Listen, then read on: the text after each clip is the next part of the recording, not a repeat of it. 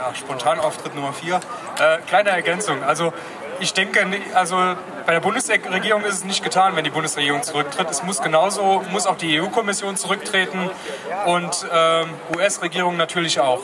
Weil da haben wir auch nämlich zwei Quellen, ähm, wo ähm, ziemlich viel Mist kommt, der die ganze Welt betrifft.